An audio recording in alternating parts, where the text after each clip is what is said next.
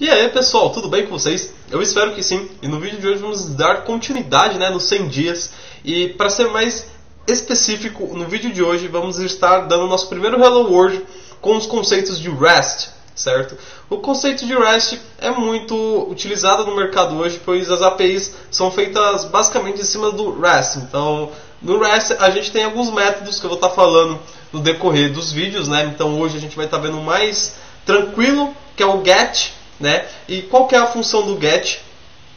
É, ele vai pegar uma informação. Então, seja qualquer informação que seja, ele vai lá e vai buscar pra gente. Então, por exemplo, você está fazendo um sisteminha lá, uma APIzinha que precisa buscar um dado num banco de dados. Você vai estar utilizando o get.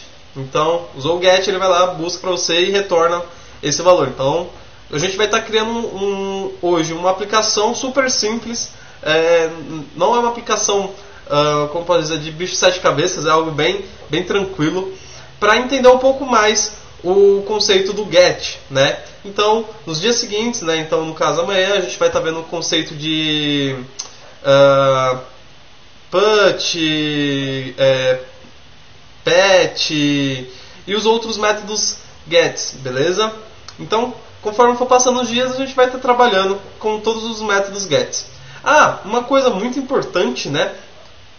Que a gente tem que ter em mente é os aplicativos para estar tá testando as nossas APIs, né? Então tá testando os nossos uh, sisteminhas REST que a gente vai estar tá criando, né? Vou falar sisteminha, tá? Só porque para ficar um ou por exemplo, melhor, vou falar API mesmo. então, uh, para fazer as construções das API. Então vou estar tá mostrando para vocês o, os que eu utilizo, né? E provavelmente é os que eu vou estar tá utilizando no decorrer desses 100 dias que é o Postman e o Insomnia. Então, eu vou estar colocando também o link deles na descrição para vocês estar fazendo download, igual ontem com o Spring Initialize e o IntelliJ, beleza? E eu vou estar compartilhando minha tela aqui com vocês agora. Então, vocês já estão vendo minha tela. Uh, primeira coisa, né, é, é o Insomnia. Então, Insomnia, certo? Tá até aqui, eu vou colocar só para entrar direto, para não entrar na página de download. Então, Aqui a gente já tem um site do Insomnia aqui e tal, ele fala um pouco sobre o que é. Eu gosto muito desse carinha aqui, é bem tranquilo de se trabalhar, aqui fala algumas empresas que utilizam eles. E ele é de graça, tá? A mesma coisa é o Postman.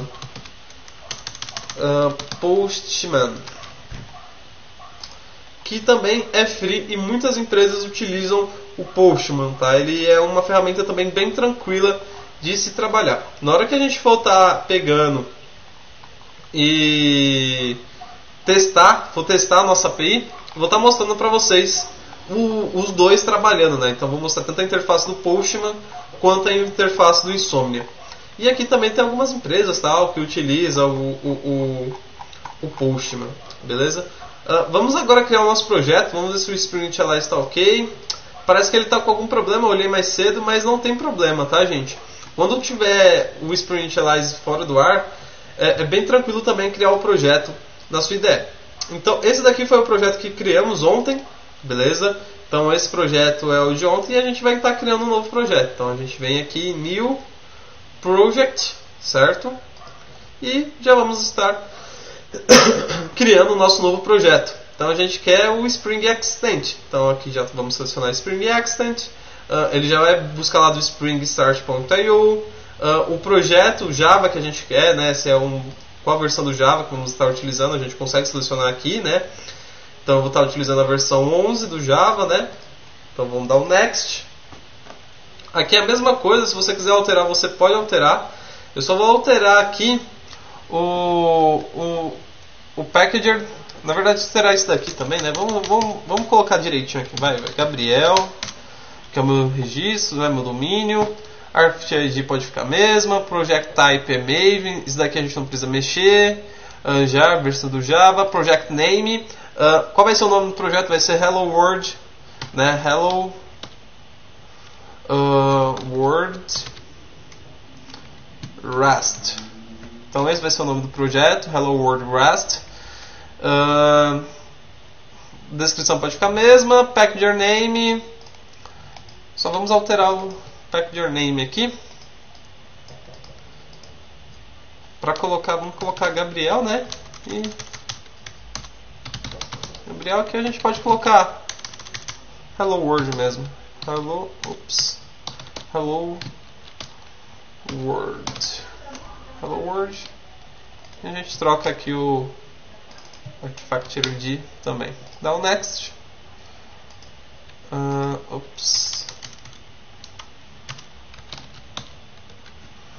oops. Vamos ver se vai dar agora. Ué? Que não tá indo? Vamos deixar demo mesmo, né? Vamos ver aqui. Não sei porque ele não queria ir. Mas, agora que a gente está aqui, a gente pode estar tá inserindo uh, as configurações, né? as dependências que a gente quer. No caso, a gente vai querer duas dependências, né? Na verdade, só uma, né? Spring Web. Que vai ser o carinha que vai ser responsável por estar tá criando né, o, o, as anotações para ser utilizada na web. Então, então vamos selecionar ela aqui. E podemos dar um next. Project name. Hello. Hello World REST. E dar um finish. Hum, bora fazer nessa janela mesmo.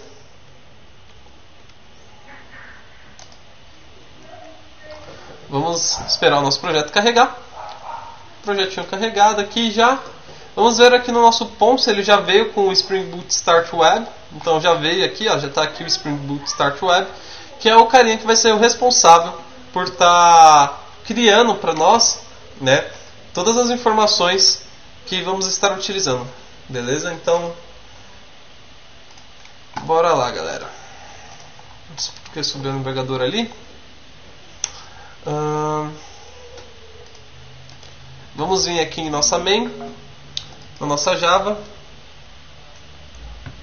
Certo? Vamos selecionar nosso aqui a nossa classe main e vamos colocar a primeira annotation, né? A notation que a gente vai estar utilizando, além da Spring Boot Application, vamos estar utilizando uma REST Controller. REST Uh, acho que não, tá, não importou tudo. Mas beleza, não tem problema não. Posso colocar aqui já, só vejo ficar aqui embaixo. Colocar aqui em cima. Rust controller. Certo? E podemos já estar tá criando o nosso método aqui para estar tá é, retornando para a gente o, o valor que a gente quer. Então vamos criar aqui um método que retorne para gente uma string uh, com um nome, sei lá. Então, bom, agora já está fazendo aqui, vamos dar um import aqui, né? Ops. REST controller. Então, vamos criar uma, um método que retorne uma string. Então, vamos lá. Private string uh, olá vai retornar, não tem nenhum parâmetro para lá e ele só vai dar um return de, um, sei lá, ops, um olá mundo, olá mundo, certo? Ah, mas aí você pergunta assim, Gabriel, é só isso mesmo? É a mesma coisa que Hello World? Não, tem uma carinha aqui que a gente vai estar tá passando agora, que é o get mapping, certo? Que é o responsável para falar que esse método aqui ele é um método que ele é REST, então ele vai ser consultado por algum lugar. Então ele vai ser consultado, seja lá por uma outra API, seja por um front, seja por um postman. Então esse carinha aqui que é o método get que eu falei, que vai estar tá pegando a informação de algum lugar. E como que faz para utilizar ele, né? Então a gente já passou aqui o, o annotation, né, o annotation get mapping. Eu passei errado aqui, tinha esquecido de colocar o arroba. E aqui dentro dessas aspas, a gente passa o valor dela. Então, como assim valor? O valor quando eu falo é URL, tá, gente? Então, podemos passar aqui uma URL chamada olá. E quando a gente for consultar ela, for colocar lá no nosso navegador, ou no nosso Postman, ou no nosso Insomnia, ah, seja lá qual for o, o, onde a gente vai estar tá testando e colocar barro lá, ela vai estar tá puxando para nós, beleza? Então, vou dar um run aqui, certo? Vamos ver se vai rodar tudo bonitinho. Ah, uh, vou apertar aqui. E minha máquina travou. Destravou. Já está buildando aqui.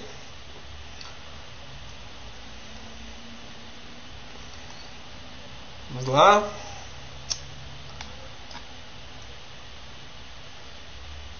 Estilizou, tal, bonitinho.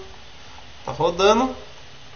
Ah, galera, outra coisa aqui que também é muito legal quando você trabalha com Spring é que quando você trabalha com essa notation Spring Start Web, você não precisa se preocupar com a questão do Tomcat, tá? Então, ele já sobe o Tomcat para você automaticamente.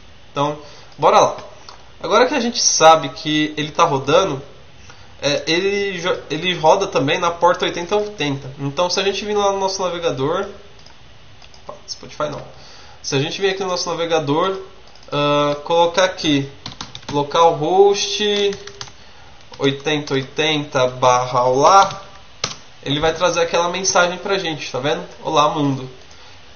Então, o que, que acontece também, galera? Uma coisa que vocês têm que saber. Desculpa aqui ter aberto o Spotify sem querer. É, é que o navegador, quando a gente está consultando essas páginas, ele só vai estar tá realizando um tipo de operação, que é a operação do tipo GET. Então ele só vai estar tá buscando pra gente alguma coisa. Então se você passar aqui, sei lá, uma outra operação, deixa eu ver aqui. Agora deu, deu um branco aqui na mente e esqueci todos os métodos HTTPs. Uh, ah, se você, por exemplo, passar um post, né, que é para você imputar algum dado, um put, um delete, uh, passar um patch, passar algum desses métodos HTTPs aqui, é, seu navegador não vai reconhecer, ele só vai reconhecer o GET, que é esse carinha que a gente está utilizando, beleza? E agora eu tinha falado para vocês também, né, sobre o, o Postman e o Insomnia. Vou estar tá mostrando para vocês agora. Primeiro, essa daqui é que vocês já viram, é o Insomnia, bem tranquilo de se utilizar. E como que você faz para utilizar, né? É, você baixa ele primeiramente, claro. Depois de baixar, você vai estar nessa tela aqui, basicamente. E dentro dessa tela, você está vendo que você tem um maisinho aqui? Nesse maisinho, você pode estar criando sua collection nova, né? Você está criando sua consulta nova. E você coloca aqui a URL que você quer consultar. Então, você pode colocar aqui a URL, no nosso caso, 8080 barra e dar um send aqui que ele vai trazer aqui pra gente o, o, a resposta, né? A mesma coisa acontece quando a gente está trabalhando com, por exemplo, post, beleza? Ou algum outros, algum dos outros métodos HTTPs.